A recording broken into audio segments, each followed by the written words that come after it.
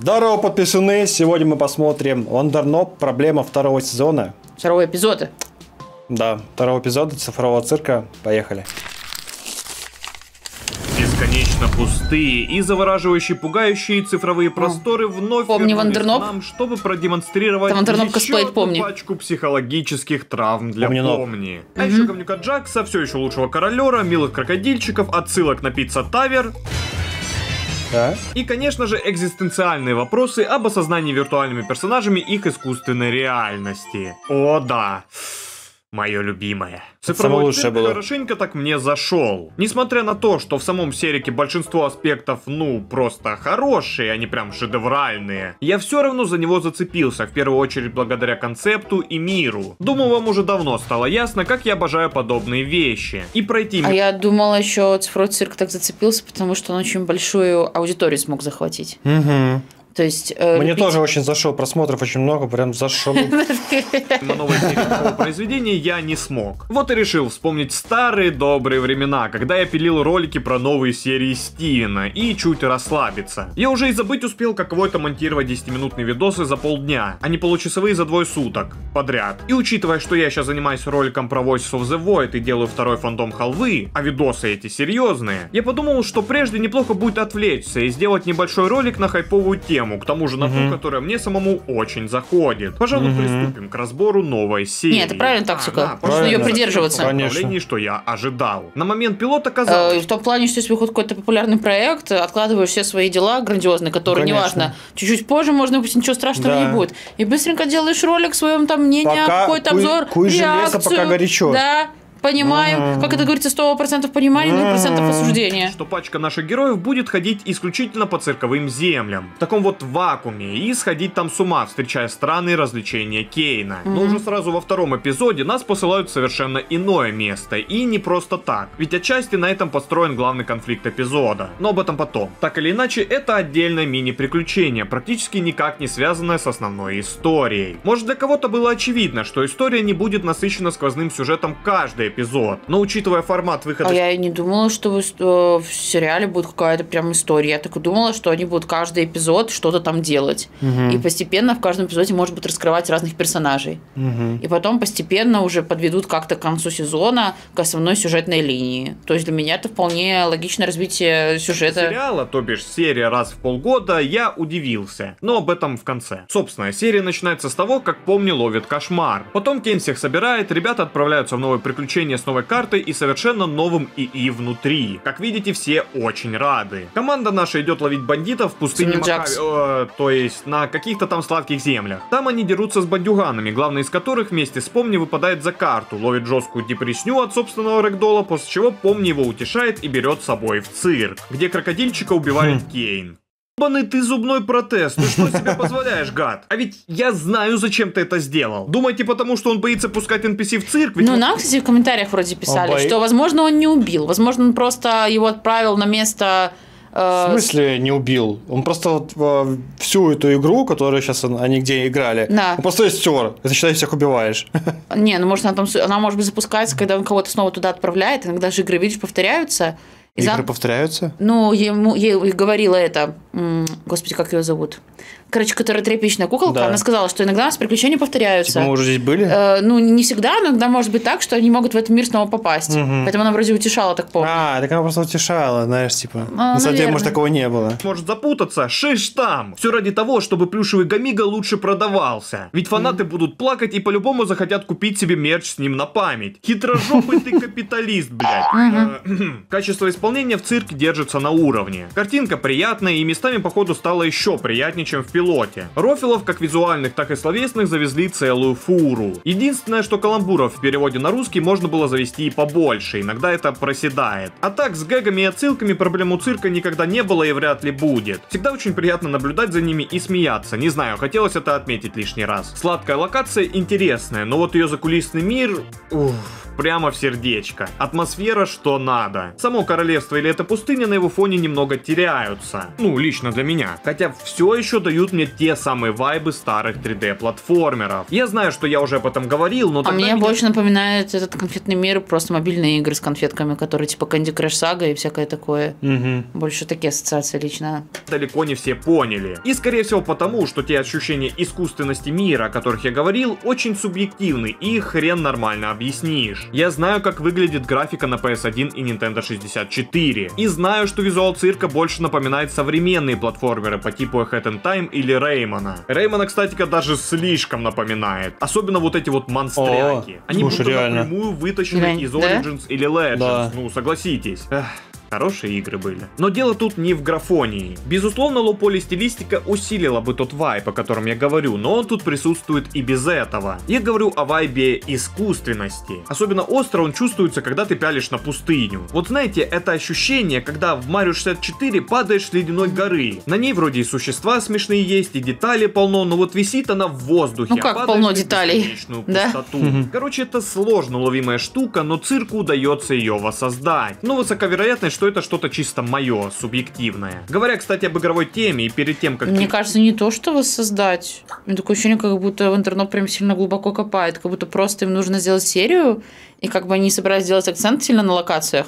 И зачем прорисовывать как-то задники, когда можно сделать одинаковую пустыню и просто сконцентрировать внимание на персонажей. Ну, а потом рассказать, это- что мы так еще и планировали. Да в том-то дело, это как бы типа свойственно для такого, как будто, как будто и создана игра. Да, которая создана, Она не типа... должна быть так сильно напичкана, она а, должна быть похожа на какую-то игру, типа такую, знаешь, только что созданную. Да, свежую игру, быструю. Еще как бы Да. не совсем доработанную, потому что ее как бы быстренько на- навалял, наваял Кейн, я так перейти к понимаю. основному конфликту и проблемам, поговорим немного о режиссуре. Я думаю, всем вам зашел рофл с плохой коллизией предметов. Мне, как Гарри Смот Энджойеру, было крайне потешно наблюдать за этим. Но еще круче то, что шутка, дважды повторенная в эпизоде, по итогу становится сюжетным ходом и помогает помнить Ну вот, они ж поэтому и сбежали. Мгм. мира. Вот это я называю режиссурой. Чтобы какой-то момент не казался излишне надуманным, его дважды показали до этого в качестве прикола. И после, по сюжету, смекалистый ум нашего милого шута смог из этого создать клевый план. Очень аккуратно построенный сторителлинг, люблю такое. Да и в принципе интересных кадров и моментов в серии хватает. Все чувствуется крайне цельно и качественно, а это мало кто замечает, потому что ну офигли, стандарты. Но пожалуй вернемся к злоключениям Помни. Один из основных конфликтов эпизода тут строится как раз на Гамиго, NPC-крокодильщике, который узнает, что он ни хрена не реален, а все его воспоминания ложь. Ну, это была самая А интересная сюжетка, на самом деле. была, И Да, мать, которая было. дома ждала и пождала. И ловит из-за этого крокодильчик экзистенциальный кризис, а Помни пытается его утешить.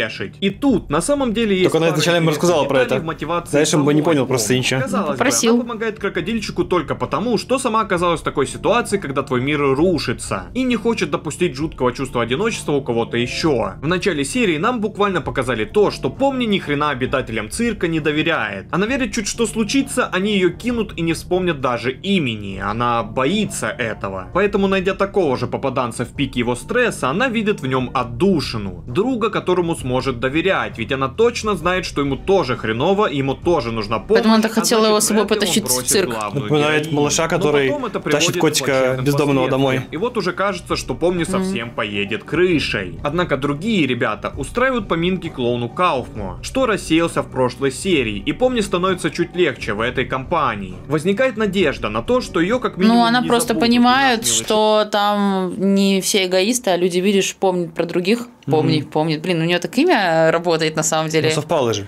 Да, я понимаю, но в русской локализации прямо хорошо работает. Ну, просто так прикольно получилось. По сути, невзирая на малосюжетность, о чем мы поговорим ниже, вся серия была построена именно вокруг этого состояния помни и желания выбраться из него. И показано это неплохо. К слову, в этот момент серии начинает играть просто офигительная версия основной темы. Вообще придраться в серике можно ко многому, но не к музыке. Тут все на таком же уровне, как и визуал. Нужное настроение задает легко, в атмосферу погружает быстро, а пачка вкуснейших стрёмных веб-кор треков точно пойдет ко Я, мне честно говоря, даже В тот момент, когда не смотрит внимание, да, на ней.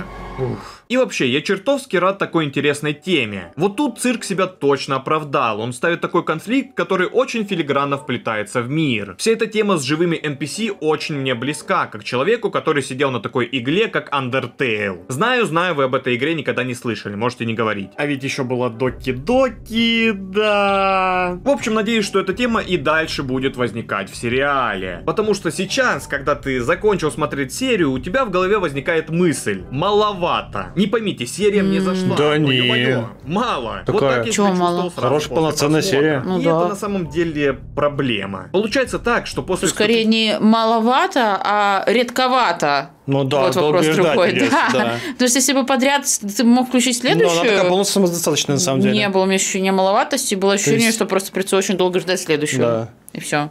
первой серии, которая прям наваливала инфы, дальше сериал решил уйти в затишье и лайтовость, о чем я уже говорил в начале. Притом нам все равно... Не так- вижу затишья, наоборот, вижу хороший баланс. Наоборот, мне кажется, в первой серии, когда тебе валит миллион информации, ты себя реально как-то даже помни, чувствуешь, типа, что, где, куда, кто, куда побежал, что происходит, а тут все уже ты как-то устаканился, все прекрасно понимаешь, что происходит, больше можешь как-то проникнуться персонажами. Дали небольшое развитие персонажей, интересную ситуацию и даже пару моментов для теорий. В конце Кейн со страхом в зубах говорил о том, что может перепутать живого человека и NPC. И это, черт возьми, выглядит как жирное чеховское ружье. Жирное чеховское ружье. Что сказал, блин? Моя тупейшая теория состоит в том, что кто-то пдит. Возможно, один из цирковой шайки на самом деле ни хрена не человек, а NPC, который просто Мгм. отсиживается в цирке. Тема интересная, но вроде может, как Кейн NPC? что разумные NPC Ну, нет, только щас. походу. Но при этом и в первой серии был не прям болванчик, а перс разумный. Ну, в общем, пища для теоретиков есть. Скорее всего, это бред, но порассуждать об этом весело. И, наверное, это еще одно достоинство сериала. Но на этом как бы и все. Серия кажется ну совсем мелкой из-за этого, и создатели уже критиковали за такой ход. Но раздумывая об этом, я пришел к такой мысли. Структура этой серии напомнила мне о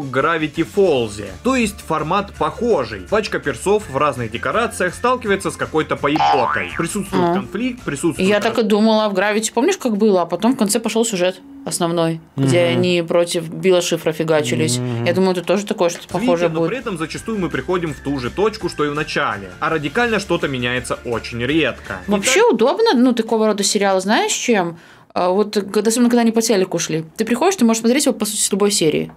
То есть, главное, чтобы ты знал персонажа и общую концепцию. Все. А вот когда сериал завязан очень сильно на сюжете, тебе нельзя ни одну серию перепускать, тут сложнее получается. Ну, сейчас легко, сейчас есть интернет. Также есть кучу загадок и мест для теорий. Не претендую на правду, но мне так показалось. И формат такой конкретно для цирка, идея странная. Gravity Falls выходил по телеку, и новые серии у него появлялись часто. Уж точно чаще, чем у цирка. И общее Ну, число их, напомню, было 40 штук. Гличи же не могут выпускать серию УЦЦ раз в месяц, и поэтому этот формат кажется немного сомнительным. А Сомнительным в плане был выпуска, я имею в виду. Ведь с точки зрения... Полгода? Полгода? Наверное. Да? Так им отрисовывают все, там же малюсенькая студия, как они успеют Влади, он на самом деле очень подходит цифровому цирку и тому миру, что пытается выстроить Gooseworks. Но неужели вы думаете, что серий тут будет около даже 15 штук? Мы ж до старости будем ждать завершения истории. И вот это проблема. Я думаю, это еще только первый сезон. Качественная, смешная, интересный конфликт, но мало. Дичайше мало. История никак не продвинулась, однако развитие персов присутствует, и на том спасибо. Формат для цирка с мини-приключениями и неторопливым сквозным сюжетом вроде подходит. Мне кажется, им нужно привлекать каких-то инвесторов или что-то типа того. А, Аниматоров? Да. а? Аниматоров? Да, Новых. аниматоров, чтобы новых нанять сотрудников, чтобы быстрее серии выпускать, чтобы можно было сделать там не то, что один сезон, может даже два сезона и понадобится, потому что иначе очень-очень Ну, долго они будут работать. выходит. А другая команда, ком- ком- ну, нам команда писали в работает. комментариях, что там другой какой-то человек, другой автор. Я думаю, что там другая команда. но не с такой частотой выхода. А ведь я, как и многие, хочу еще. Что они будут делать в этой ситуации, я, честно, не знаю. И помни, Еще, знаешь, что хотел сказать? Тем более, им знаешь еще, почему это важно? Я вот вижу на примере игры Poppy Playtime. Мгм. Вышла первая часть, жестко Как, как хайпанула. быстро тренд может э, усохнуть, на Да, самом деле. вторая часть еще тоже была Да. популярна, много И продавалось пока она мерча. популярна, на самом деле, надо клепать и клепать. А потом, это как, как вот, они- знаешь, знаешь, как А. э, скибидитуалеты эти вышли, они популярны, все, он прям Он же он делает, наклепал да, там правильно. чуть ли не каждый день, да? продолжает все до сих пор. сейчас уже слабее. Ну, Да, приедается, но вообще наверное, но лупил не просто менее. очень быстро. Вот смотри, третья часть по Playtime вышла. Я вообще не видела, чтобы там где-то в ларьках продавался кэтнеп, И, например. в принципе, не да? было такой заинтересованности, не было таких хватов уже, каких Ну просмотров да, не было. Ну, ну, видно, то есть, нет, когда первые дни вышло, там все таки посмотрели, прикольно, но потом как будто про это никто не Поэтому, говорил. Я думаю, да, нужно как-то И тут тоже, в- видишь, как они первая серия стреляли с пилотом, вторая как хорошо тоже Быстрее понравилась. Им нужно. нужно выпускать, потому что потом, если будут... Это как помнишь, с зайчиком было Мгм. тоже с игрой. Та же самая похожая ситуация. Сначала хайповала, потом у них все дольше и дольше сроки растягивались,